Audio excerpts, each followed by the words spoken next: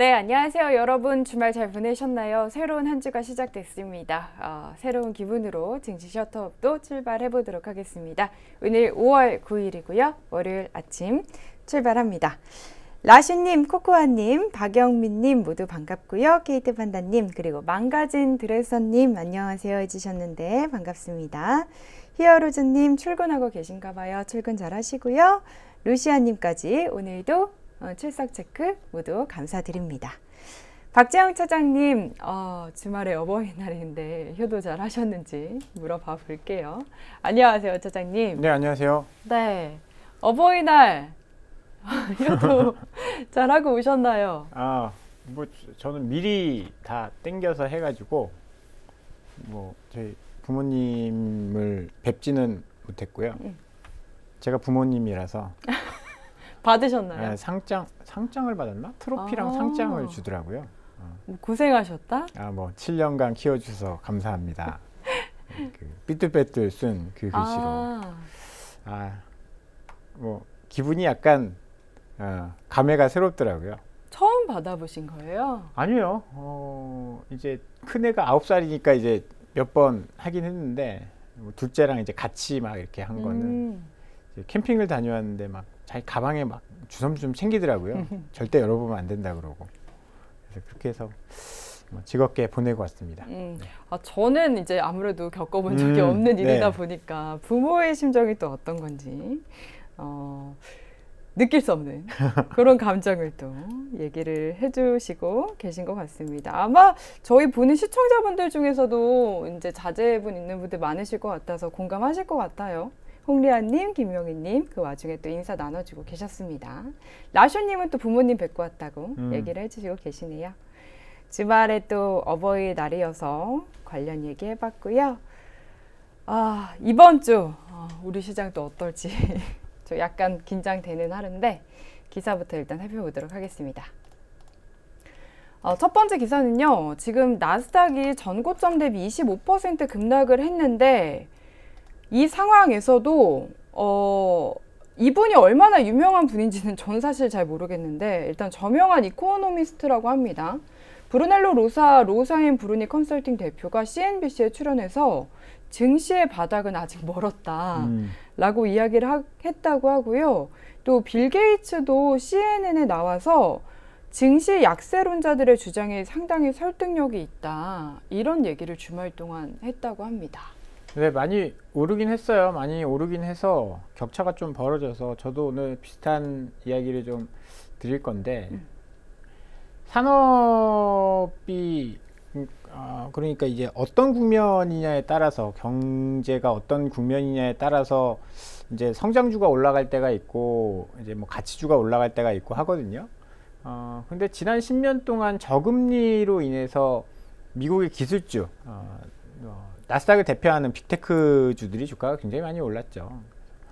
그런 부분들이 한 번은 어, 서로의 이제 격차를 줄이는 그런 시기가 온 것 같아요. 음. 온것 같아요. 그래서 아, 정말 무서운 속도로 올라갔었던 나스닥이 지금 valuation이 아주 싼 건 아니거든요. 음.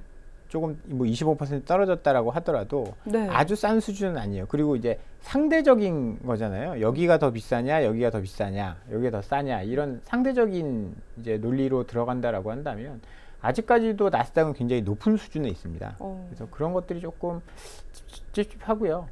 그러면 이제 뭐 나스닥이 떨어지면서 뭐 전 세계 증시가 다 급락할 거냐? 또 그렇지는 않다라고 봐야 돼요. 나스닥 25% 떨어질 때 우리는 상대적으로 선방했거든요. 네. 그래서 그런 것들을 봤을 때는 어찌 보면 이제 다른 쪽에서 기회가 생길 수도 있을 것 같다라는 생각이 들고요. 그런데 결국은 성장주가 올라갑니다. 음. 그럼 뭐 어쩌라는 거냐? 네. 아, 이렇게 떨어져서 나스닥이 그전에는 비싸서 못 사셨던 분들은 저는 서서히 기회가 온다, 하반기에. 그렇게 네. 생각을 해서요. 세계 1등 기업들은 나스닥에 많이 다 몰려 있잖아요. 애플. 애플도 그렇고, 전기차 1등 기업도 그렇고, 마이크로소프트도 그렇고, 아마존도 그렇고, 다 1등 기업이 좀 저렴해지는 그런 상황이 오면, 음. 저는 분명히 긴 시간으로 봤을 때는 성장주가 올라간다라고 보기 때문에 그- 그런 성장주를 좀 싸게 모을 수 있는 기회가 올해 한 해는 올수 있을 것이다. 올해 굉장히 강한 긴축을 할 가능성이 있기 때문에 네. 그런 강한 긴축도 몇 년에 한 몇십 년에 한 번 오는 거예요. 음. 우리가 1970년대 이, 이야기를 되게 많이 하거든요. 뭐 볼커 의장 이야기하면서 그때 뭐 금리를 많이 올렸다. 아 그때 이제 주식 시장이 어땠었고 그런 것들을 한번 좀 되짚어 보면 음. 어 어떻게 보면 굉장히 오랜만에 오는 올림픽이 되게 그 의미가 있는 게 올- 의미가 있는 게 되게 오랜만에 오- 4년마다 한 번씩 돌아오잖아요. 운동 네. 선수들 사실 그 운동 선수의 생명이 그렇게 길지 않은데 뭐 만약에 뭐 19살에 정말 우수한 아, 성적을 거둔다라고 하더라도 한 두 번, 세 번? 그쵸. 이 정도뿐이면 뭐 30대 넘어서 막 엄청 이제 올림픽에서 서- 성과를 내는 그런 선수들 많지 않기 때문에 보통 은퇴하죠. 그렇죠. 두세 번 인생에 몇 번 오지 않는 뭐 음. 그런 기회다라고 생각해서 되게 굉장히 열심히 하잖아요. 음. 이렇게 강한 긴축을 하는 거를 어, 19, 어, 2005년도에 한 번 받고, 2005년도에 제가 이제 사회생활을 했을 때, 2005년도에 한번 받고, 그리고 이제 처음 돌아오는 거거든요. 이렇게 되면 굉장히 어떻게 보면 이러한 큰 위기나 뭐 변화는 어떻게 보면 기회가 될 수도 있는 어, 그런 상황이어서 지금 열심히 공부를 좀 잘 하셔서 음. 뭐가 좋아질지를 잘좀 어, 체크를 해 놓으시는 게 음. 공부를 해 놓으시는 게 제일 좋을 것 같습니다. 저는 짧게는 그때 코로나 초기에 주식 폭락했을 때. 왜 못 사놨을까 아. 이런 후회들 많이 하거든요. 그러니까 준비가 안 돼 있으면 준비가 안 돼 있으면 그때도 이제 살 수 없는 거죠. 그러니까요. 왜냐면 공포감에 쌓, 쌓이기 때문에 음. 지금도 이렇게 긴축 막 강하게 한다라고 하면 무서워서 이제 어, 주식할 수 없는 환경이구나라고 음. 하고 포기를 해버리는데 아 그러면 이제 여기에 발을 들여 놓, 놓으셨으면 그러면 안 된다. 음. 음, 그렇게 좀 봐야 될 것 같습니다. 알겠습니다. 두 번째 기사입니다. 어, 우리 증시 거래 대금이 코로나 초기 수준으로 지금 쪼그라들었다고 합니다. 지난 6일부터 이번 달 6일까지 한 달 동안 코스피의 하루 평균 거래 대금이 10조 원 정도, 작년 같은 기간과 비교해서 33% 정도 줄었다고 하는데 그래서 그런지 IPO 시장이 얼어붙었대요. 그래서 회사의 희망 밴드가 있잖아요. 그 하단보다 공모가가 낮게 정해진 회사도 많았다고 하고요. 특히 SK 쉴더스가 기대를 많이 모았는데 워낙 이제 낮게 책정이 되다 보니까 아예 공모를 철회했다. 음. 이런 기사도 있었습니다. 뭐 좋을 때도 있고 안 좋을 때도 있는 거죠. 작년 재작년 워낙에 좋았으니까 음. 작년 재작년 워낙에 좋았으니까 약간 뭐 등락은 있을 수 있어 보여요. 거래 대금이 많이 줄었다라는 것은 걱정스럽긴 합니다. 거래 대금이라는 게 시장의 활기를 어, 측정하는 척도인데 지금 많이들 그 실망을 해 계신 것 같아요. 음. 아 주식 봐서 뭐 하나. 네. 그런 뭐 그런 상황인 것 같은데 아, 또 장이 좋아지면 또 올라오는 거고 장이 안 좋아지면 또 떨어지는 거고 이렇게 좀 어, 오르락내리락 한, 하는 거니까 여기에 너무 어, 연연하실 필요는 없을 것 같고요. 어, 그렇지만 거래대금 이렇게 안 좋다라는 거는 시장을 아주 긍정적으로 기대하기 어려운 음. 그런 상황이다 그렇게 봐야 될 것 같습니다. 네, 마지막 기사도 살펴보시죠. 어, 한미 정상회담 저희 앞두고 있잖아요. 네. 어, 이 정상회담을 앞두고 한미 통화 스와프를 다시 체결해야 한다라는 이런 논의가 나오고 있다고 해요. 그래서 환율이 워낙 이제 1,300원을 육박하는 상황이다 보니까 외환 시장, 금융 시장 불안감을 해소하자는 취지인데 반면에 아니 우리가 지금 경제 위기 상황도 아닌데 좀 적절한 접근이 아니다라는 비판도 상당해서 차장님은 어떤 생각 갖고 계신지 제가 좀 궁금해서 가져와 봤습니다. 네, 제가 지난주 이제 모 방송에서도 그런 이야기를 했어요. 음. 바이든 대통령이 와서 어, 할 수 있는 것이 뭐냐. 뭐 올 때는 뭔가 좀 얻어가려고 오는 걸 텐데 음. 뭐 삼성, SK, 현대차, LG 만나는 건 그쪽에 이제 공장 세워달라. 미국에 음. 그 얘기 하러 오는 거잖아요. 그러면 선물은 뭘 갖고 올 수 있을까 생각을 해봤는데 딱히 뭐 떠오르는 건 없더라고요. 뭐 사드를 배치해 준다. 우리가 사드 하나 더 놔줄게. 뭐 이런 얘기하면 큰일 나는 거고. 예. 어, 통화수합 하면 우리가 사실 시장이 박살났다가 코로나 때 박살났다가 올라오기 시작한 게 통화수합 딱 체결하고 그 다음부터 급등했었거든요.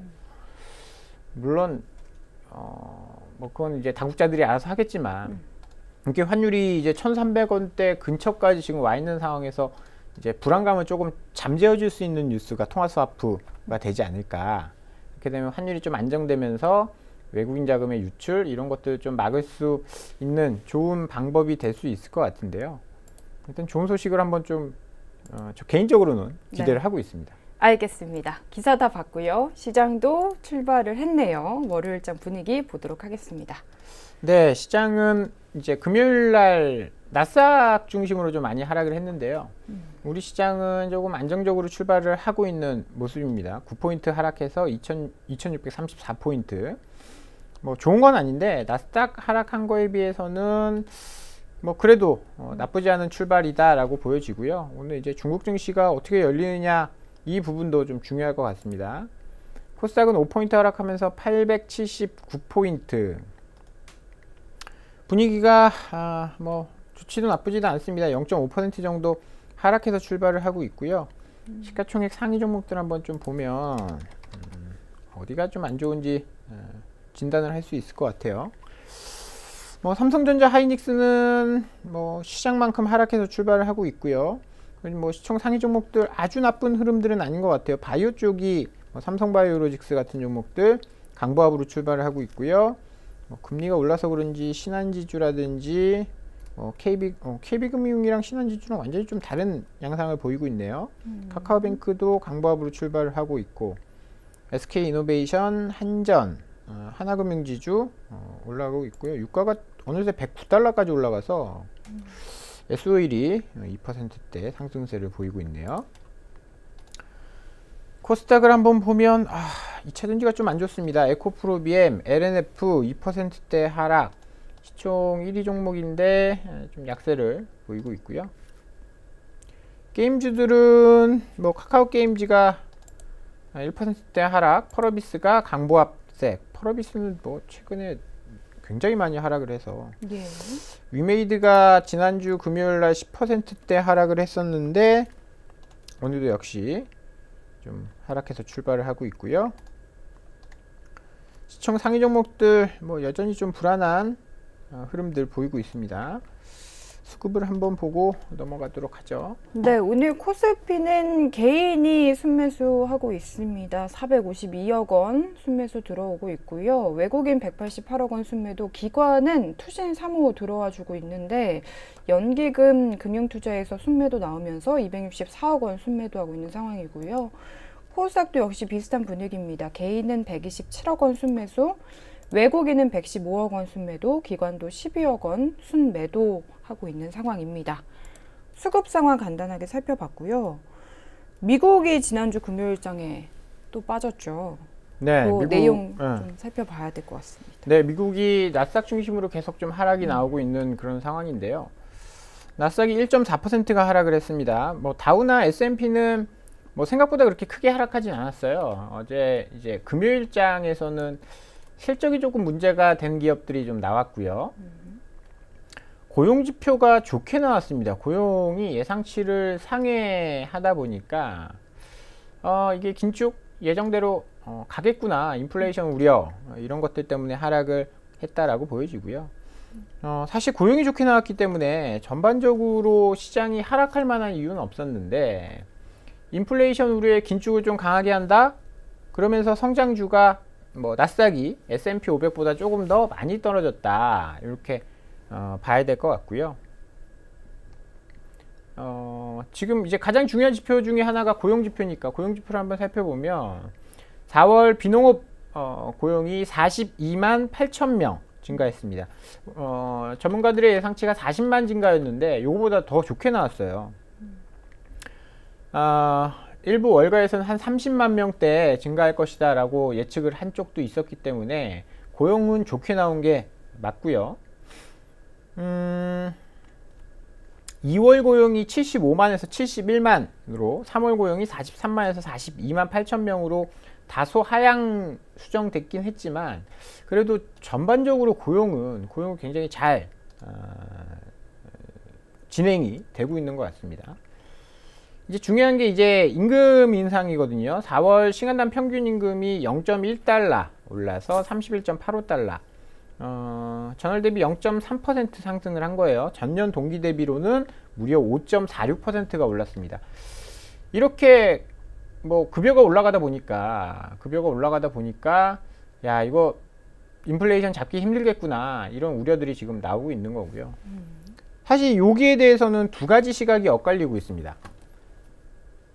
어, 임금이 올라가서 인플레이션에 문제가 생길 수 있다라는 의견과 지금 임금 상승률이 5.46%면 소비자 물가 상승률보다 낮잖아요. 아, 소비자 네. 물가 상승률이 8%면 예. 예를 들어서 기업이 물건값을 8% 올려서 매출이 8% 올라가고 인건비가 5% 올라가면 3% 남, 남는 장사예요. 네. 기업의 실적은 좋아질 수 있다라는 음. 쪽과 아니 결국은 임금이 올라가서 물가가 올라가고 제품 가격이 올라가면 소비가 줄어들 거 아니냐. 음. 소비가 들어, 줄어들어서 경기 침체가 오면 이 인플레이션 뭐 어, 계속 되는 건 계속 되지는 않을 수 있고 음. 그다음에 이 고용이라는 거 굉장히 후행적인 거거든요. 네. 가장 후행적인 겁니다. 그 사람이 많이 올 거를 미리 예측해서 사람을 뽑을 수 있으면 좋겠지만 그게 불가능해요. 음. 그래서 일하다 보면 아, 사람 부족해요, 부족해요, 부족해요 하다 보면 정말 끝에 가서 사람을 뽑아주는 거거든요. 기업체는. 네. 그리고 임금도 마찬가지잖아요. 야 앞으로 경기가 좋아질 거니까 내가 임금을 먼저 올려줄게. 이러는 기업은 없습니다. 그렇죠. 굉장히 후행적인 거기 때문에 이 후행적인 이 임금 인상, 이 임금 인상이 아 이렇게 좀 높게 나온다. 그러면 인플레이션이 잦아들고 후행적인 이, 이 고용 이게 만약에 경기에 타격을 주지는 않을 것이냐. 음. 왜냐하면 어, 소비나 이런 것들은 선행적일 수가 있습니다. 아, 뭐 물가가 오르는데 좀 덜 써야지. 음. 라고 하면서 소비가 줄어드는데 뒤에 따라온 이 후행 지표를 보고 어, 고용이 좋고 임금이 올랐네 이러면서 금리를 올리, 올리다 보면 이제 엇박자가 날 수도 있다 음. 이런 이제 우려들이 있는 그런 상황이거든요. 그렇지만 어찌됐든 간에 고용이 잘 된다라는 것은 좋은 뉴스입니다. 저는 고용이 안 돼서 아, 아, 고용 지표가 안 좋아서 연준이 긴축을 안 할 거야라는 생각을 하는 사람은 지금 아무도 없다라고 보거든요. 예. 그러면 이왕 금리 올릴 거 고용이라도 잘 돼서 소비가 생각보다 잘 버텨준다라고 한다면 경착륙은 조금 어, 피할 수도 있지 않을까라는 생각을 해보고요. 그래서 무조건 고용은 잘 나와야 됩니다. 문제는 이제 기업들이 실적이 좀 안 좋은 기업들이 나오면서 주가가 많이 떨어졌거든요. 대표적으로 언더아머가 실적이 안 좋으면서 23%가 급락을 했습니다. 이 언더아머 실적이 안 좋은 거는 사실 뭐 이 소비재기 때문에 소비재기 때문에 의류잖아요. 네. 스포츠웨어 네. 이런 쪽이기 때문에 어 약간 미국의 소비가 진짜 안 좋은가? 안 좋을 기미를 보이나? 이런 생각들도 좀 들어서 어, 소비 쪽 그 다음에 서비스 쪽 기업들의 실적은 잘 보셔야 되고요. 어, 도어대시 이쪽은 이제 음식 배달업입니다. 우리나라의 배민 같은 음. 배민 같은 어, 기업이고요. 매출은 예상치를 웃돌았지만 손실이 예상보다 커졌다라고 하면서 10% 이상 하락했고 하락하다가 뭐 낙폭을 좀 줄이긴 했어요. 1.4%로 마감을 했고 아, 스포츠 배팅 업체 드래프트 킹스 이것도 이제 뭐 서비스 업 뭐 이런 쪽이잖아요. 네. 예, 분기 손실 기록했다라고 하면서 8% 급락을 했고요. 아, 이름이 이게 중국 업체처럼 돼 버렸네요. 쉐쉐. 쉑쉑인데 쉑쉑 버거 업체 아시죠? 쉑쉑. 네. 이거 맞나요? 쉑쉑 맞나요? 하여튼 어, 햄버거 업체인 쉑쉑도 실적이 어, 예상치를 웃돌았지만 다음 분기엔 어떨지 모르겠어요. 라고 하면 가이던스를 낮, 낮추면서 실, 좀 어, 주가가 하락하면서 전반적인 실적이 뭐 이제 기업들이 큰 기업들은 실적 발표를 많이 했잖아요. 네. 반반이었던 것 같아요. 잘 나온 기업도 있고 못 나온 기업도 있고. 음. 근데 이 뒤에 있던 기업들이 실적 발표를 하는데 그렇게 뭐 earning surprise다 앞으로 전망이 좋다 이런 움직임이 나오지 않다 보니까 시장이 조금 지치는 모습을 좀 보였습니다. 아, 연착륙과 인플레이션 두 가지를 모두 잡을 수 있을까에 대한 의구심이 시장에 조금 남아 있는 것 같습니다. 이제 의심을 좀 강하게 하기 시작한 것 같아요. 그래서 어, 인플레이션 잡을 건데 연착륙도 할 수 있어 라는 연준이 정말 신뢰를 얻을 수 있을지가 시장 반등, 시장 반등의 관건이 될 것 같고요. 아직까지는 투자자들의 의심이 굉장히 큰 상황이다. 음. 아, 금리를 보면 금리도 굉장히 이게 뭘 의미하는지는 모르겠어요. 미국채 10년물이 정말 강하게 올라가고 있습니다. 3.13까지 올라갔어요. 어, 고점은 3.148까지 올라갔으니까 야, 미국채 금리가 진짜 장기물 굉장히 빠르게 올라가고 있는데 오히려 2년물은 4bp가 떨어졌습니다. 어제 장기물이 6bp가 올랐는데 2년물은 4bp가 떨어졌어요. 그래서 금리차가 벌어지고 있습니다. 아니 연준이 금리를 많이 올린다는데 왜 2년물이 안 오르고 장기물이 올랐을까? 장기물이 올랐다라는 것은 몇 가지 추론을 해볼 수 있는데 아, 경기가 좋구나. 음. 첫 번째는 아 고용이 잘 나왔기 때문에 미국 경기는 괜찮아. 그러면서 장단기 금리차가 벌어지면서 장기물이 올라간 거다. 이건 너무 긍정적인 해석. 네. 장밋빛 전망이고 operation twi 아, operation twist가 아니고 QT를 하면서 어, 장기물이 계속 좀 약세를 보일 것 같다. 뭐 이런 생각이 들 수도 있는 거고. 인플레이션 우려, 고용 호조 이런 것들이 지금 채권 시장에 혼란을 가져오고 있습니다. 지금 뭐 경기가 좋은 상황에서 이렇게 장단기 금리 차가 벌어지고 채권 금리가 올라간다라고 한다면 아 계속 호황이 오겠구나라고 하는데 지금 그런 상황은 아니잖아요. 연준이 긴축을 강하게 하고 있는 상황이고 전쟁도 계속 또 일어나고 있는 그런 상황이고 에너지 가격 계속 올라가고 있는 그런 상황이고 그런 상황에서 지금 채권 시장에서는 굉장히 혼란을 겪고 있다. 장기채도 못 믿겠다. 어, 단기채 좀 짧게 짧게 어, 뭐 가져가야겠다. 뭐 이런 생각이 좀 들고 있는 것 같아요. 어찌 보면 지금 시장은 파월 의장이 6월 달에도 50bp 올리고 뭐 연속적으로 50bp 올리면 올해 연말에는 기준금리를 3%를 볼 것 같은데 장기물이 올라가고 단기물은 떨어졌다라는 거에 대해서 시장은 아, 계속 어, 혼란을 겪고 있다라고 밖에 생각을 어, 못 하겠고요. 그렇게 되면 결국은 결국은 장기물이 올라가면 단기물도 따라서 기준금리 따라서 올라갈 텐데 이 충격을 시장이 버틸 수 있을 것이냐 3% 이상의 어, 국채 금리를 시장이 버틸 수 있을 것이냐에 대한 아, 의문도 좀 있는 상황입니다. 그래서 지표들은 그렇게 좋아 보이진 않아요. 어제 달러 인덱스도 103.63 유로와 엔화가 계속 약세를 보이고 있어서 달러 가치도 계속 올라가고 있고요. 안전자산에 대한 선호 계속 높아지고 있는 상황이고 아, 유가는 잡힐 기미가 없습니다. 지금 109.77달러까지 어느덧 110달러까지 올라왔습니다. 어제도 아, 금요일이죠. 1.4%나 상승해서 이제 러시아에 대한 우려 이게 계속 좀 되고 있는 그런 상황인 것 같고요.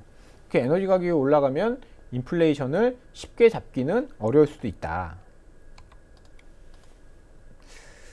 그래서 이제 5월 달이 5월 9일인데 하반기에는 어떻게 될 것이냐? 인플레이션이 조금 잡히면서 진짜 좋아질 수 있을 것이냐? 어디를 봐야 되냐? 일단은 우리 산업 우리 이제 경제를 보면 이제 큰 산업이 몇몇 가지가 있습니다. 반도체를 중심으로 한 반도체. 그런데 반도체는 2017년 이제 수출이 126억 달러 올해는 131억 달러 고점을 넘었죠 뭐 주가는 안 좋은데 수출은 굉장히 잘 되고 있는 그런 상황입니다. 근데 고점을 찍고 조금 떨어지고 있는 모습들을 어, 보이고 있습니다. 수출 증가량을 보더라도 반도체가 수출 증가 수출 증감세가 증가세가 점점 어, 둔화되고 있는 그런 상황이에요. 그런데 지금 보면 석유화학이라든지 자동차나 이런 굴뚝주의 수출을 보면 석유, 철강, 자동차 이런 쪽은 코로나19 이전을 이미 넘어섰습니다. 음. 자동차도 마찬가지고요. 네. 자동차 부품도 뭐 비슷한 어, 뭐 아주 떨어져 있는 그런 상황은 어, 아니다라는 거죠. 그래서 하반기에는 이제 이제 수출이나 이런 것들 증감률이 조금 낮아지는 반도체나 tech 쪽보다는 연초에 너무 좋아, 그러니까 2020년, 2021년 너무 좋았어요. 너무 좋았어요. 이렇게 급등을 했었는데 IT 가전도 그랬고요. 뭐 LG전자 수출 엄청 많이 잘했잖아요. 음. 그래서 그런 쪽들이 굉장히 좋았는데 이제는 좀 많이 어, 주가도 싸고 뭐 석유화학 이런 데 석유 쪽은 그러니까 화학 쪽은 뭐 롯데케미칼이나 이런 기업들 주가 보면 굉장히 처참한 수준까지 내려와 있거든요. 네. 왜냐하면 유가가 굉장히 많이 올랐기 때문에 원재료 가격이 높아져서 이것을 이제 가격 정가를 잘 시키지 못하는 뭐 그런 상황이었기 때문에 근데 수출은 잘 되고 있죠. 왜냐하면 가격이 오르니까. 어, 그래서 주가도 많이 떨어져 있고 어, 그리고 수출도 여전히 계속 좀 잘 되고 있는 이런 업종들에 좀 주목을 해봐야 될 것 같다. 소재, 산업재, 건강관리 이런 쪽은 역사적으로 valuation이 더 낮은 수준까지 내려왔거든요. 2019년 밑으로 내려왔습니다. 네. 그러니까 코로나 이후에 크게 오른 것도 없었지만 어, 코로나 이후에 주가가 조정을 받으면서 실적은 좋아졌는데 조정을 받으면서 오히려 밸류에이션은 굉장히 낮아진 상황이다. 그래서 지금은 싼 기업을 찾는 게 굉장히 중요하고요. 여기에서의 걸림돌은 중국입니다. 미국은 이제 걸리적거릴 게 없어요. 네. 미국은 수요만 잘 그러니까 어, 고용이 잘 돼서 수요만 잘 일어나 주면 됩니다.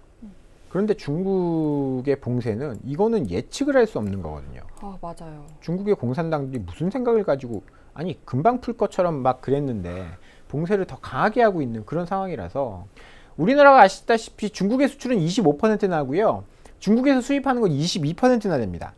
전 세계 수많은 국가 중에 네. 가장 많은 수입과 수출 어, 비중을 차지하는데 우리나라가 대부분 석유화학이나 이런 것들 다 중간재예요. 중간재를 25% 수입하는데 중국이 우리 지금 물건 안 받아. 우리 지금 못 받으니까 너희 지금 당분간 수출하지 마. 이래 버리면 박살 나는 거거든요.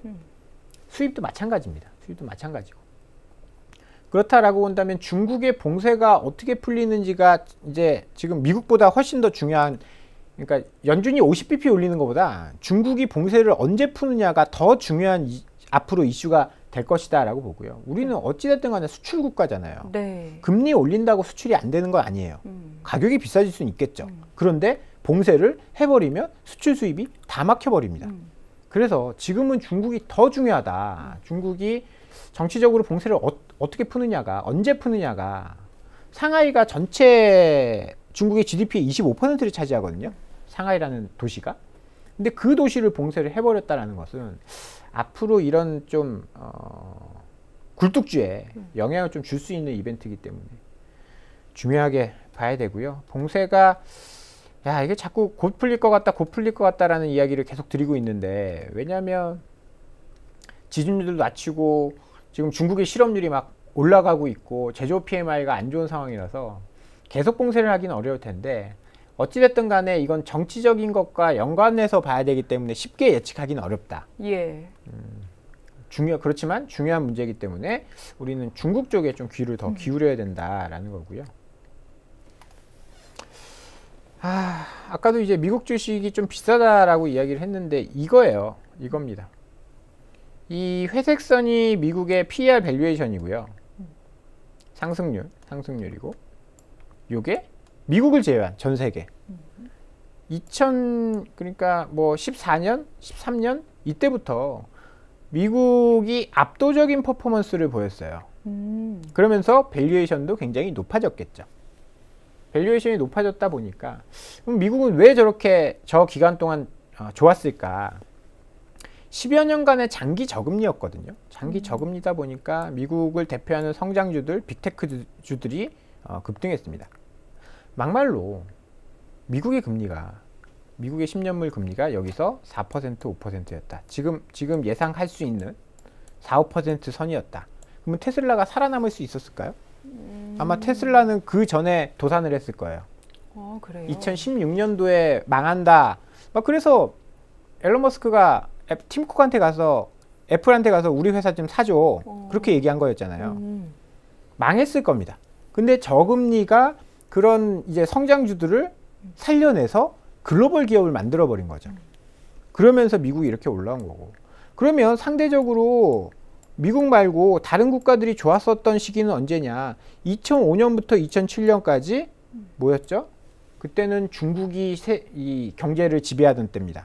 물론 이제 미국이 원탑이었지만 중국이 성장하던 시대였어요. 중국이 전 세계에 공장 역할을 하면서 뭔가를 막 만들면서 제조업이 잘 되던 그런 시기였어요. 그리고 이거 2010년 이때 이때는 뭐였냐? 금융위기 이후에 망가진 이제 미국 경제, 망가진 미국 경제 대신해서 중국이 부양책을 썼습니다. 그때 뭐, 일, 뭐 1대1로 하고 막, 어, 부양책, 그 다음에 막 여러 가지, 어, 그때 이제 공급 과잉이 많이 이루어졌었죠. 그랬었던 때였어요. 그러면 지금 앞으로는 어떤 시대가 올 것이냐라는 것들을 한번 생각을 해보면 금리를 계속 올리면서 테크주들은 조금 떨어, 더 떨어질 가능성이 있습니다. 그리고 나머지 금리를 올리더라도 뭐 부양책이라든지 이런 것들이 나오면서 중국을 중심으로 어, 굴뚝주들이 올라올 수 있는 그런 기간이다라고 봅니다. 근데 전체 기간으로 보면 이런 이제 어, 제조업 기반의 주식이 장기간 올라가는 그런 시대는 좀 지나간 것 같아요. 제가 봤을 때는. 네. 제가 봤을 때는. 결국은 성장주입니다. 음. 이쪽에서도 미국 주식이 많이 떨어졌다가 결국은 탄력을 붙이면서 더 많이 올라갔죠. 음. 긴 기간으로 봤을 때. 기간으로 보더라도 어, 성장주들이 올라가는 기간들이 훨씬 더 깁니다. 음. 제조업이나 이런 기간 어, 기업들보다. 그래서 장기적으로 봤을 때는 이 미국 주식이 이렇게 떨어질 때 그 전에는 사실 무서워서 못 사시던 분들이 있었어요. 음. 무서워서 못 사죠. 어, 이게 주식이 주식이 이런 각도로 올라가는데 이런 45도 각도로 올라가는데 무서워서 어떻게 사요? 네. 사실 작년에 그런 얘기 많이 했거든요. 국장 탈출이 지능순 무조건 미국 주식으로 가자. 네. 이해할 수 있습니다. 이렇게 올라가는 주식이 많은데 음. 많은데 당연히 이쪽으로 갈 수 이쪽으로 가야 되는 게 맞죠. 음. 근데 지금 시대가 바뀌었다라는 거죠. 그런데 결국은 이게 가격을 메꾸고 나서 서로 메꾸고 나서 다시 고점을 더 높이면서 올라갈 거다. 그러면 비싸서 못 사셨던 분들은 2020년도 코로나 시기에 주식 샀다라고 생각을 하시고 조금씩 모아가시는 장기 전략이 저는 필요하다라고 보고요. 그리고 내가 어 난 단기적으로 보는 단기적으로 뭐 그러니까 단기가 하루 이틀을 보는 게 아니라 네. 짧게 짧게 몇 개월을 보는 사람이다라고 한다면 굴뚝주들 많이 떨어진 뭐 화학주라든지 철강 어, 철강은 또 많이 떨어진 건 아닌데 뭐 그런 쪽 실적이 좋아지고 가격 전가할 수 있고 뭐 누누이 말씀드리잖아요. 그런 종목들에 좀 어, 포커스를 맞추고 투자를 하시는 게 좋을 것 같다. 어떻게 보면 이제 제조업 기반의 주식들이 주식들이 조금 단기간 좋은 시대가 올수 어, 있을 것 같다라는 말씀을 드리면서요. 어, 오늘 아침 시장을 이렇게 마치도록 하겠습니다. 네, 알겠습니다. 미국 주식을 어쨌든 사서 모으기에 괜찮은 때다라는 얘기로 좀 들리는 것 같네요. 오늘 시황 정리는 이렇게 마치겠습니다. 고생 많으셨습니다. 감사합니다. 네, 이어서는 대포차 시간 기다리고 있습니다. 금 차장님은 주말 잘 보내고 오셨을지 어, 만나서 종목 이야기 들어보도록 하겠습니다.